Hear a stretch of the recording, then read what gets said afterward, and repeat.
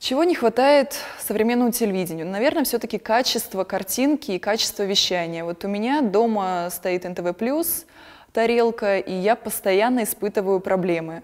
Сигнал то работает, то не работает, то он сильный, то не сильный, и действительно меня это напрягает.